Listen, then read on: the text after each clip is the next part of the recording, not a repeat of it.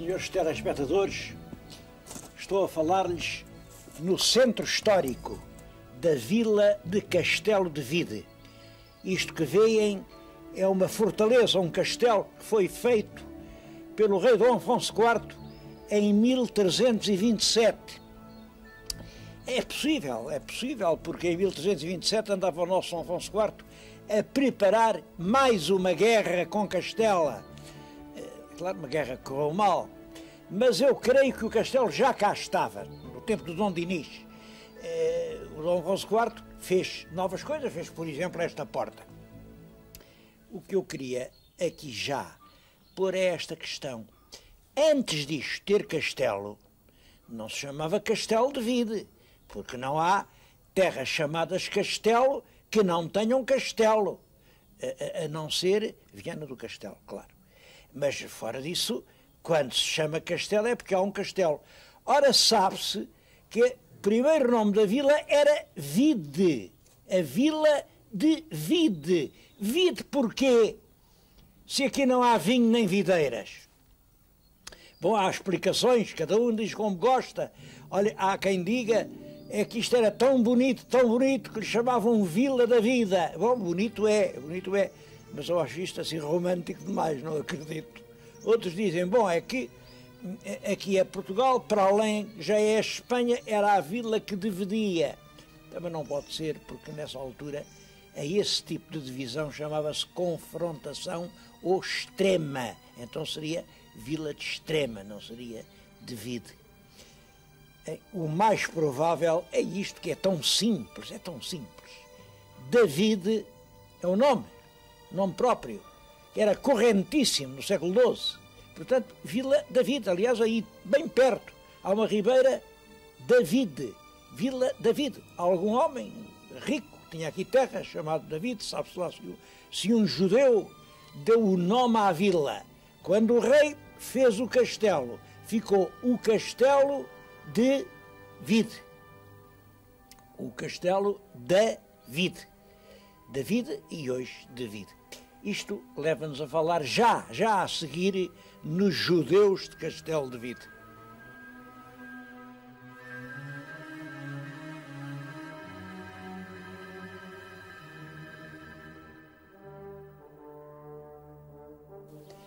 Hoje fala-se em Castelo de Vide e pensa-se em judeus. Porquê? Bom, a razão é simples. É porque em Castelo de Vide continua a existir, mantém-se uma judiaria medieval tão bem conservada como mais nenhuma outra no país. Eu estou aqui a falar-lhes junto de uma fonte. A fonte da vila ficava exatamente ao fundo da judiaria. Quando o meu telespectador vier aqui, não deixe de subir essas ruas. Olhe, vá aqui pela Rua da Fonte. É, é, cada porta ainda foram habitações de judeus. Lá em cima fica a própria sinagoga, ainda com sinais de culto. Aquela é a Rua Nova. Em regra, as ruas novas eram ruas novas com os negócios que os judeus punham. Porque os judeus, onde chegavam, eh, eh traziam sempre as suas atividades. Daí, por causa da judiaria, é que se relaciona tanto a ideia dos judeus a Castelo de Vide. É, portanto, um bom lugar para lhes falar dos judeus em Portugal. A verdade é que diz-se muito, sabe-se pouco, nós não sabemos quando é que os primeiros judeus se instalaram em Portugal. Bom, há quem conte que foi logo no tempo do Nabucodonosor, no cativeiro de Babilónia, isso deve ser lenda, isso deve ser lenda, é tão antigo que. Agora, que vieram na época romana é seguro, que se instalaram na Península Ibérica é seguro, que estão ligados à mineração é seguro. Sabem que os judeus eh, foram sempre excelentes mercadores, estiveram sempre ligados ao comércio dos metais preciosos e a Península Ibérica era uma região mineira magnífica, com ouro, com prata, com cobre, com estanho, e os judeus estiveram ligados desde sempre a essas atividades. Portanto, desde há mais de, eh, como sabem, a destruição de Jerusalém pelo imperador Tito foi no ano 70. Eh, foi, portanto, há cerca de, há mais de 1900 anos. Não, não erra muito quem disser que desde há 1900 anos há judeus instalados no território que hoje é Portugal. Instalaram-se e rapidamente eles ocuparam as posições que exigiam uma maior aptidão mental. Eles foram os intelectuais deste país. Eram eles os financeiros, eram eles os cambistas, eram eles os professores, os juristas, os físicos, os astrónomos, eh, as qualidades, que eram os quadros mentais, eram quase inteiramente exercidas por eles. Mas tinham outra função, a parte do trabalho, do trabalho com tecnologia. Olhem, alfaiates, ourives, do modo geral metalurgistas, mas ferreiros, latoeiros, sapateiros, tecelões, cardadores, tintureiros, tudo isso eram profissões de judeus. Eles tinham as suas casas, sempre um resto de chão, onde tinham a loja e um primeiro andar, que era para a família, e ainda hoje é isso que marca uma judiaria. Eles aqui em Portugal eh, tiveram papéis muito importantes na, nos primeiros reinados. O Dom Afonso Henriques protegeu-os, mas depois o, o Dom Sancho II, quando os povos fizeram queixa ao Papa do Dom Sancho II, uma das acusações era esta: esse rei só trata bem os judeus, só os judeus é que ele escolhe para, para os seus lugares importantes. Era uma acusação, se calhar exagerada, claro, como sempre, mas era uma acusação. Mas depois do Dom Sancho, eles voltam a ser muito importantes com o Dom Afonso III, com o Dom Dinis. Depois o Dom Afonso IV, não, Dom Afonso IV e Dom Afonso IV reprimiu tudo. Proibiu realmente as cantigas, os namoros, a, a, enfim, uma certa devassidão que havia na corte, o, os fratos foliões, e obrigou os judeus a andar com uma cruz, uma cruz vermelha aqui cozida, de maneira que se visse bem. Já foi o primeiro rei português a segregar os judeus. Em todo caso, ainda o Dom João I os protegeu. Olhem, diz o nosso Alexandre Herculano, numa obra notável que é a história da origem e estabelecimento da Inquisição, que em nenhum outro país da Europa os judeus foram tão bem tratados durante a Idade Média como em Portugal. Eu acho isto engraçado e acredito por uma outra razão é que também em nenhum outro país da Europa, nenhum, acabou completamente o preconceito antijudaico. Ainda hoje, mesmo nos países que, que presumem de muito cultos e civilizados, na França, na Alemanha, na Inglaterra, na Holanda, na Bélgica, há os sujeitos, aquele é judeu. Em Portugal não há o meu telespectador que está a ouvir-me sabe se é judeu? Eu, por acaso, sei se serei judeu? Aquele será judeu? Sabemos lá quem é. Em Portugal isso não tem sentido. Já viram quando a gente quer, quando a gente quer dizer mal de um político, diz, chama-lhe tudo. Chama-lhe tudo. De ladrão para baixo, ele é tudo. Só nunca lhe chamamos judeu. Eh, que é, naturalmente às vezes até são, mas isso não se lhe chama por uma razão é porque isso não constitui em Portugal uma expressão pejorativa.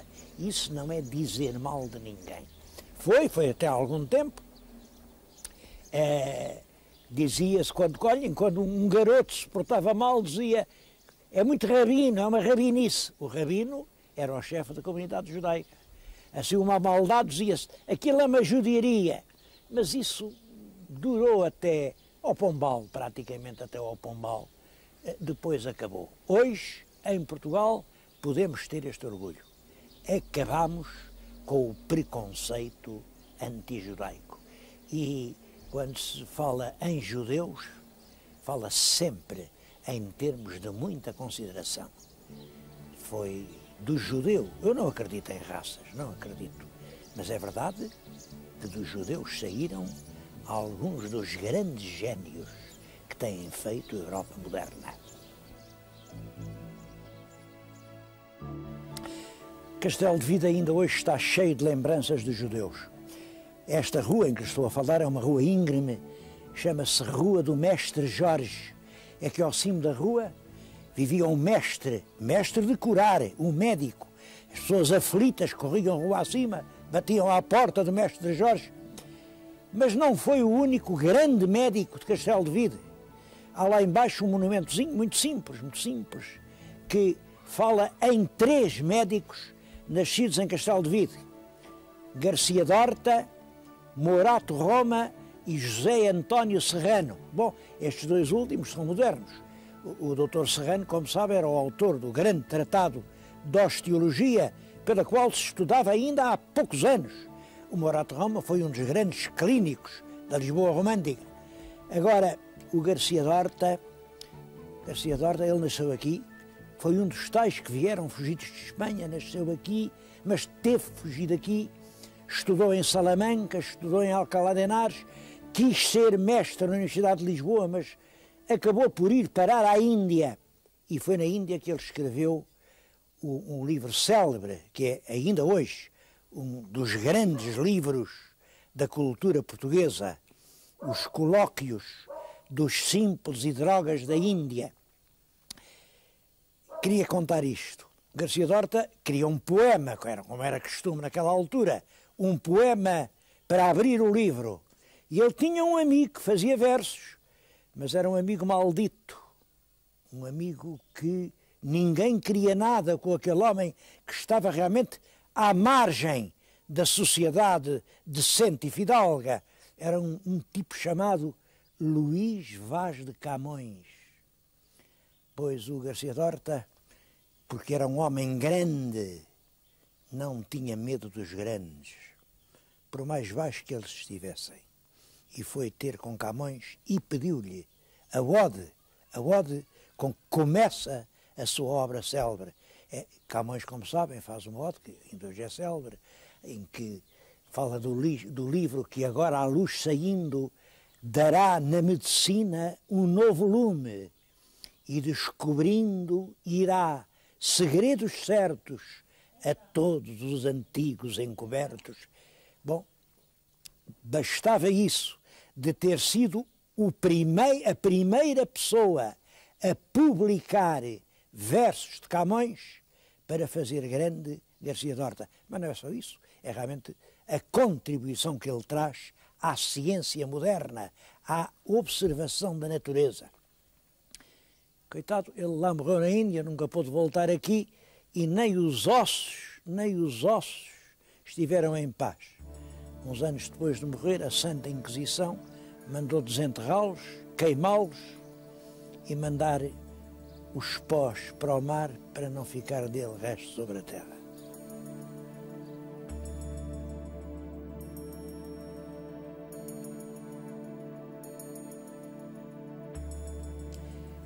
Como veem, a sinagoga é um pequeno edifício. Até ao contrário dos outros, não tem um andar por cima. Isso não significa que fosse mais modesto. É que, como era a sinagoga, a casa de Deus, ninguém podia viver num andar superior. O rabi tinha residência numa casa ao lado. É aquela que estão a ver, que ainda hoje existe. Como veem, também era uma bonita casa dentro da sinagoga ainda hoje existe o tabernáculo. Penso que é o único tabernáculo antigo, verdadeiro, que chegou até hoje em Portugal. Os, como sabem, os judeus não tinham imagens de santos, não admitiam sequer a representação da divindade Jeová não se pode representar por figura nenhuma. Mas era aqui que eles guardavam os livros da lei. E era, portanto, neste lugar que os rabis explicavam a lei aos crentes.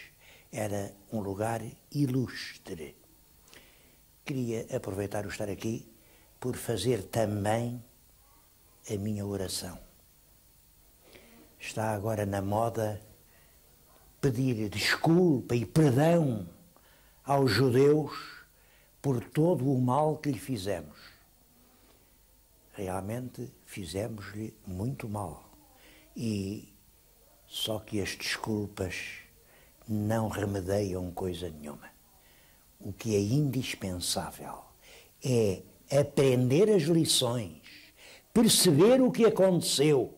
Houve um tempo em que os judeus eram ricos e os outros eram pobres. E com essa diferença coincide uma maldição de natureza religiosa. Eles eram os assassinos de Cristo, eram os inimigos da santa religião. E quando essas duas coisas se juntam, os judeus são realmente perseguidos, espoliados, massacrados, torturados e tornaram-se um povo mártir. Repito, o que é preciso é aprender a lição, é organizar as coisas de maneira que isso se não repita.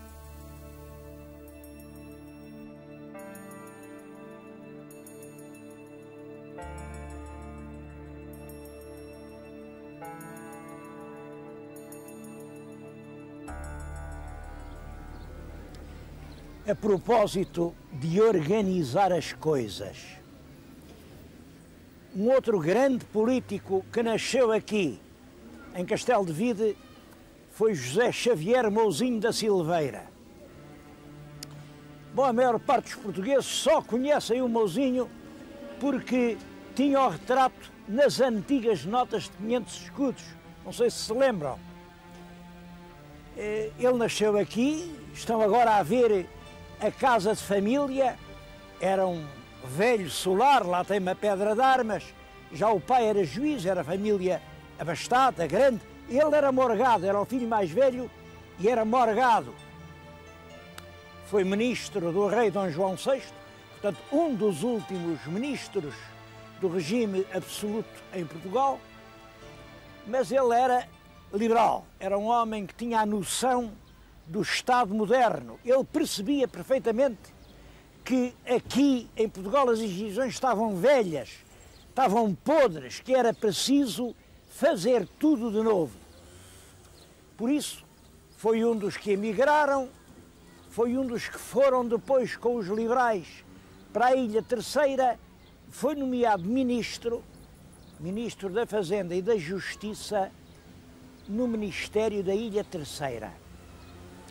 E é aí que Francisco Xavier Mouzinho da Silveira, em poucos meses, com um sentido de Estado que revela uma espantosa lucidez, redigiu as famosas leis que acabavam com o velho regime em Portugal, um regime arcaico, caduco, feudal, cheio de desigualdades e de injustiças e estabelece as grandes linhas mestras do Estado moderno.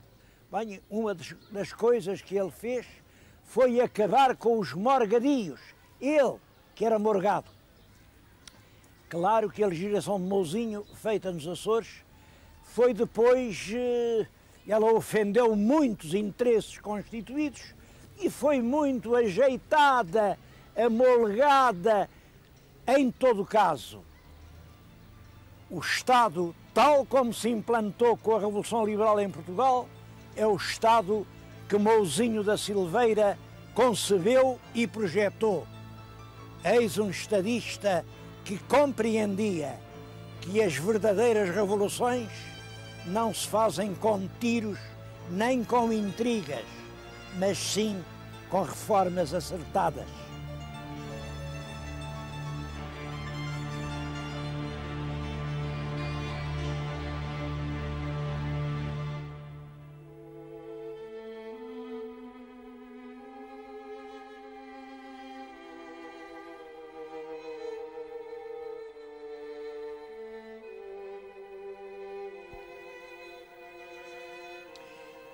Número dos judeus de Castelo de Vide aumentou muito quando entraram os que tinham sido expulsos de Castela. Bom, e a pequena vila do Alto Alentejo transformou-se nessa altura num centro muito importante. Um centro de mercadores, um centro que adquiria os produtos agrícolas, vendia o azeite, juntava as peles, cardava a lã, vendia o ouro, fazia os negócios. Há também aqui muitos artesãos de toda a arte e faz-se uma grande vila. Bom, mas depois vem a expulsão e a conversão fechada. A primeira coisa a fechar, claro, foi a sinagoga. Depois da sinagoga começa a perseguição, uma perseguição pertinaz, lenta, traiçoeira. Devo-lhes dizer que muitos dos que foram queimados nos altos do Santo Ofício na cidade de Évora tinham nascido nesta vila de Castelo de Vide. Muitos. Bom, e então muitas casas ficam sem ninguém. Fecham as casas, depois fecham as ruas, acabam as atividades, já não há mais eh, nem banqueiros, nem mercadores, nem negócios. Eh, pouco a pouco a vila começa a decair. É curioso. Exatamente à medida que fecham as vilas judaicas portuguesas, criam-se comunidades noutros sítios. Exatamente agora estou-lhes a falar em 1998, estão agora a passar 400 anos, 400 anos certos, sobre a abertura na cidade de Amsterdão da primeira sinagoga formada por judeus portugueses judeus fugidos daqui, olhem, muitos deles, dos que foram rezar lá, saíram daqui, de Castelo de Vide. Bom, isto pouco a pouco foi caindo. Mas depois vêm novas pragas, novas pragas. É, é no século XVIII e XIX a praga do castanheiro. Estas encostas viridentes morreram, os castanheiros acabaram. Depois são as águas Sabem que aqui as águas de Castelo de Vide não são nascentes que jorram, não. É as gotículas que estão nas entranhas dos montes, que são sugadas fortemente por máquinas aspiradoras e as serras ficam secas e as hortas ficam estéreis e as terras ficam feias e abandonadas. Bom, depois, no século XX, são as leis da CEE as leis do abate do gado, acabam os enchidos, acabam os belos queijos, acabam até os rebanhos, porque agora os rebanhos já não são para dar carne, são para dar subsídios. Pouco a pouco foi acabando tudo. E agora, castelvidenses, e agora? Agora restam vocês. Vocês com uma energia que, apesar de tudo, o tempo nunca fez abrandar. Vocês, com a vossa energia e com esta terra, esta terra que é a lição de um drama, é o teatro de uma lição, uma lição que é preciso continuar a contar e a lembrar, porque é uma lição que é perigoso esquecer.